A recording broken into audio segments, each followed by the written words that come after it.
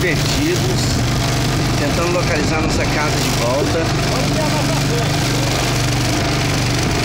Encontramos um jacaré ou uma paca, a gente não sabe identificar bem o que é. Aí eu, o Walter e mais duas pessoas aqui dentro da canoa.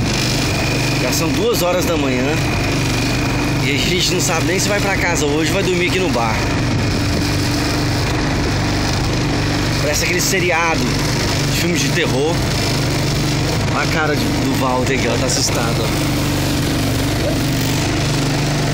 Não, é sério, olha aqui, presta atenção na frente aí.